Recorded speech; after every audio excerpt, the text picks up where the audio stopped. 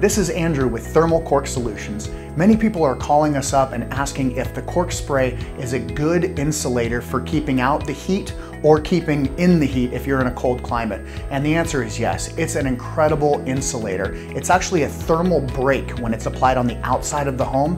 And if it were rated for R value, like a lot of the, the pink insulation is, it would be the equivalent of an R17.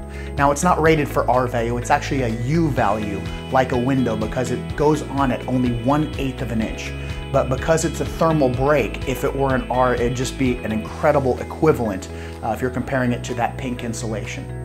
If you want to find out more information on how we can use this for you, you can find us at thermalcorksolutions.com.